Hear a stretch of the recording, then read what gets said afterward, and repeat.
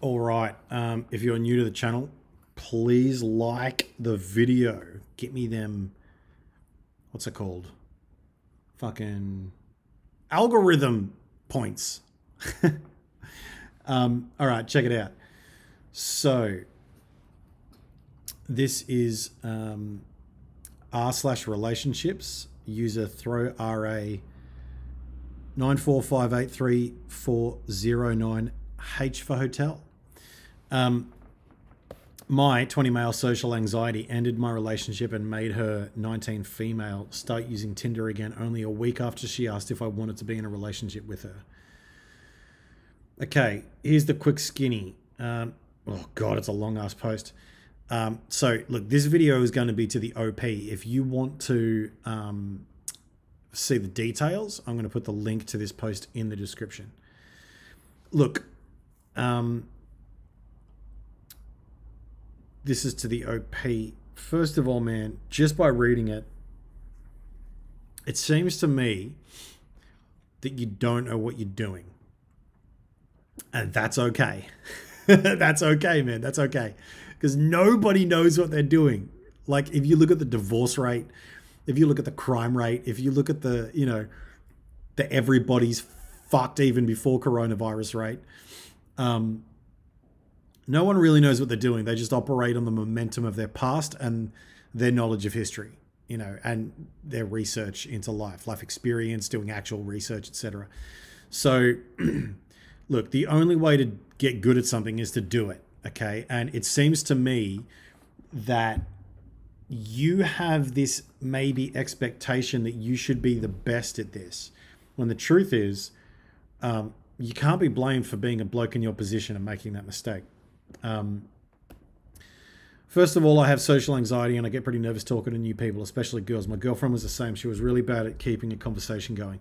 That's pretty common. Um, it's one of the reasons that men are in general funnier than women. It's an evolutionary thing where women don't have to be funny. Women have to be present. Some guy will pick them up, right? They can have a baby. Um, so they get into their genes get into the next generation. Um, she was really bad at keeping the conversation going. Well, at least there you acknowledge it. Like the problem there is that the responsibility for the conversation and interpersonal engagement is on you. And that's not good. That's not good, right? It needs to be on both of you. We met on Tinder and chatted for a couple of days. We both had somewhat similar interests. We both liked video games, etc. It went well, connected, and then you made a list of things to talk about it helped me calm down. And whenever I ran out of things to say, I just looked at the list. At the time, I thought this was smart, but now I see it was the equivalent of cheating on a test. Sort of. Sort of. Okay. The reason they say fake it till you make it is because people that make it just faked it. Not all of them, but a lot of them. Like, you think about a guy that goes through Navy SEAL school. How many times is that man going to fail? Goes through BUD/S training. He's going to fail. He's going to fail all the time. You think about a guy that becomes a UFC fighter. How many times has he failed to get there? He missed the kick that came from his head, or, you know, the Navy SEAL guy, you know, misses the target the first hundred times, right? And then bang, he gets it. So, making a list is actually a really good idea when you're starting out in the um, uh, social, uh, what's it called? The kind of Tinder Bumble uh, world, right? It's because what happens is you look at the list and then eventually when you talk like dude i use the same jokes like a dozen times a day just with different people. And if i'm walking around with my girlfriend she will hear the same dumb jokes of me just telling these dumb jokes to people. She's like ugh because i use the same jokes because they're funny because they catch right? And she gets annoyed but i don't care because fuck it i made someone laugh. So having a list is not actually a bad thing I, I see your point in that relying on that list is a bad thing, but the only way to commit something to memory and to get good at something and then rinse and repeat is to start slowly, which is what you've done. Um, we talked again later, and the list hadn't run out. When she came to visit me for two days, I actually planned activities so there wouldn't be a lot of moments where we just had to talk without doing anything. Even then, I had a list of things on my phone, so when there was some downtime, I looked at it to get some inspiration look, I'm going to give you some of the best advice that I've ever read. It was, I read it I can't remember who said it, and it was this. it is a good thing to be in the in the it is a good thing for a man to be in the presence of a woman with whom he can be exhilarated. But it is better for a man to be in the presence of a woman with whom he can relax. Dude, that blew my mind and it fucking changed my life. Because I was always interested in um, entertaining. But the problem is, if you're going to be in a relationship with someone, the truth is that a relationship is this I'm doing the mundane shit, they're doing the mundane shit. Let's do the mundane shit together. That's all it is. Like life is just mundane and monotonous and boring sometimes. It's not all exhilarating. We have to go to the toilet, we have to go shopping, we have to go to work, we have to send emails and receive emails and pay our taxes and our insurance and our registration, etc. You know, we, we have to have hard conversations with our partner. And it seems to me that you are about to learn a very valuable lesson about what you don't want in a relationship, okay? Because what I've noticed in life is that people don't know what they don't want till they get it, right? But and you have gotten something that you're sitting here going, you know, um, I've got social anxiety, got into relationships, wrote a list of things, and then you couldn't come up with some shit to say. I guarantee you this, man. As you get older, you're only 20. 20's not old. 20's young as a fucking baby duck, sir. And so what will happen is that you will learn more, you will fail more. Dude, I've slept with dozens of women. I've dated, you know, maybe a bit less than that. And I'm not saying that to brag, I'm saying that to give you context. I was really bad with women when I was even a young man at 22 right? And it took me a lot of failing, a lot of heartbreak, a lot of tears, my own tears and their tears, for me to learn how, first of all, how to be a man, how to be a man, how to tell the truth to myself, how to not lie to someone else because I was trying to convince them that I was someone, but I was really trying to convince myself that I'm someone and I want them to believe me, right? So you will learn how to be a better you, right? How to do you better. You will learn that. And then you will become the man that the woman you want needs. Okay. Every man is the man he is, and every woman is the woman she is. But not every man is the man he needs to be to get the woman he wants to get. Okay. If I was in your position right now, I would learn from this. I would uh, like uh, take some of my advice, like just that general advice. Um, now, look, about the fact that a week later she started using Tinder again, here's what that tells me. What that tells me is that she wasn't interested in you. She was interested in you being interested in her. She wanted the attention. She wanted the camera on her, not to be the camera on you, okay? And with my relationship, I'm the camera and she's the camera. I see her. I I give her attention and then she does it for me, right?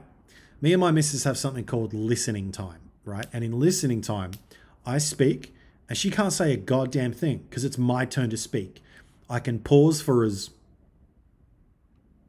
long as I need to to collect my thoughts and she doesn't interrupt me. And then I say, okay, your turn. I pass the baton to her. And then she does the same thing. And she can spend, I don't care, she spends 10 minutes silent. I'll just sit there and vape because that's what I do because cigarettes are dumb expensive in my country. I digress.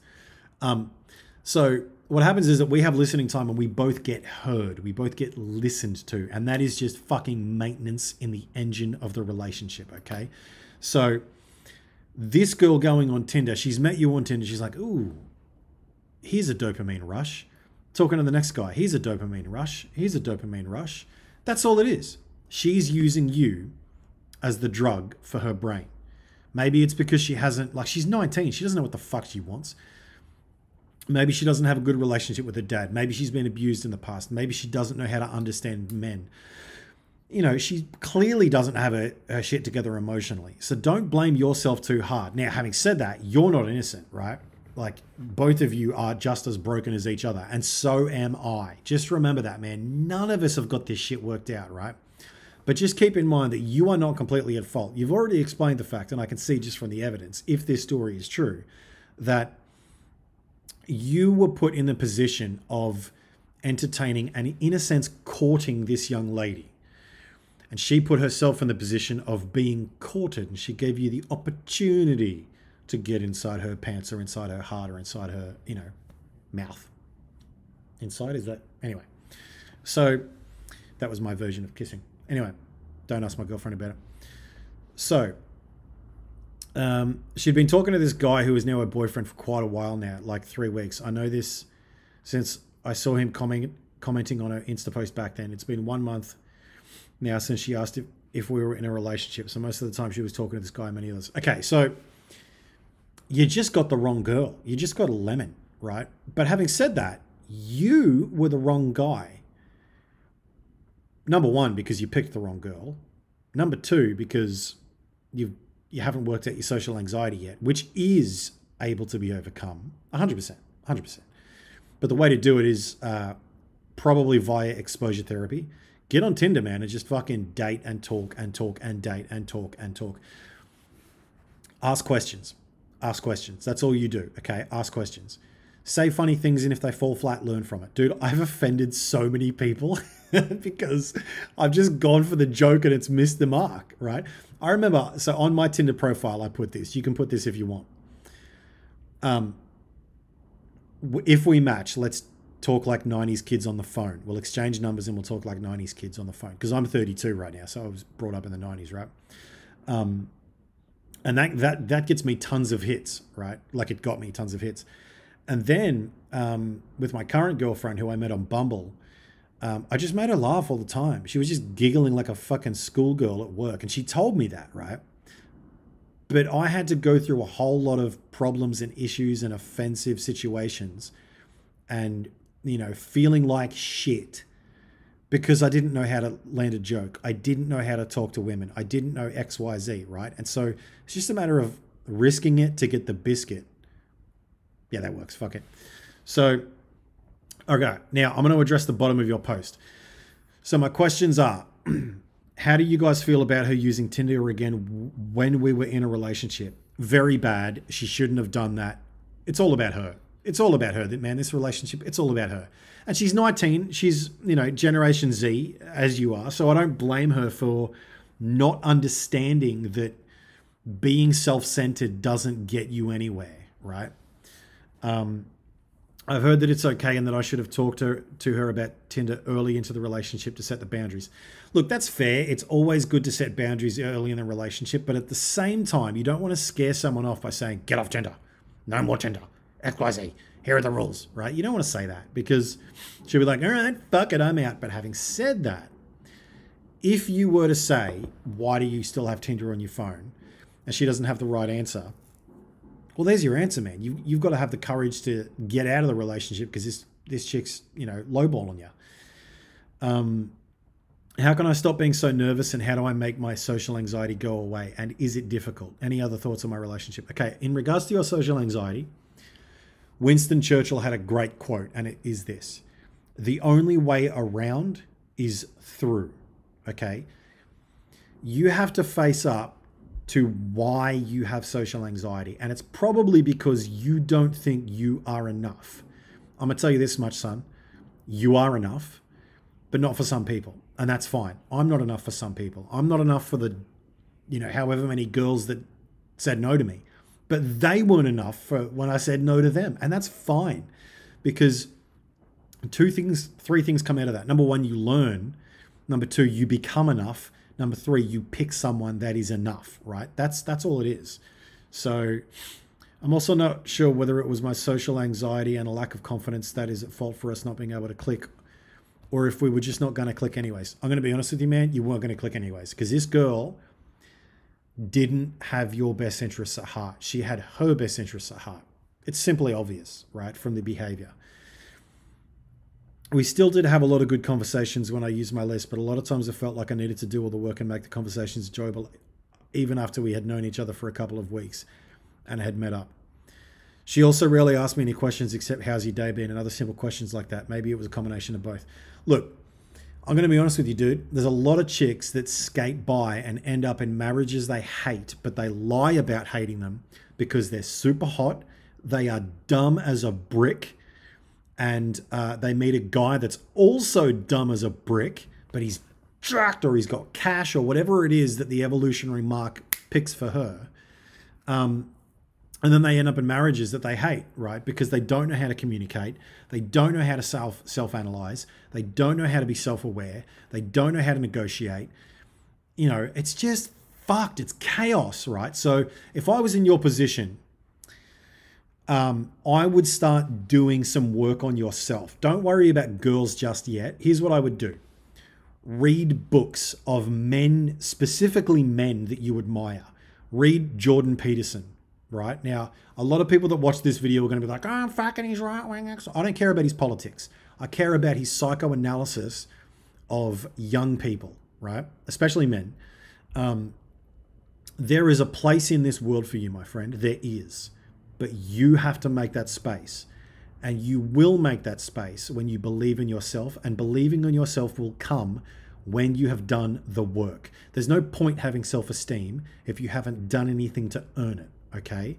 So I would work on myself if I was you. You know, go to the gym, start working out. It could be one day a week, who cares, right? Um, start eating healthy, start reading books, start educating yourself, make yourself wise. I'm very knowledgeable of history. I'm very knowledgeable of current world politics. I'm very knowledgeable about the industry that I'm in, which is the security industry, right? Um, and so become knowledgeable. You're 20 years old, dude. I don't hold any of this stuff that you're talking about against you. I don't hold any of this against her either. It just turns out that she's a bit of a beanbag and you got caught. Right? So, look, you will push through this. You will succeed if you put the work in and don't ever, ever, ever, ever, ever give up. Don't ever give up. Keep pushing. Keep pushing. Dude, I've been so depressed sometimes. I've had several bouts of suicidal ideation, and now I find myself a week into just having moved into a into the house with a girl that I fucking adore. I fucking adore her. She's the baddest motherfucker around, right? But that shit didn't come easy. It didn't come easy. Look, man, I wish you the best. I hope this video helps. Watch it as many times as you want. Please like the video. Um, subscribe if you like. Look, it helps me, but you do what you need to, man. Good luck.